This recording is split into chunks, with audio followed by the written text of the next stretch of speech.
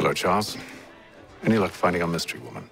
Word is she's been stirring up trouble just outside the city in a town called Lexington.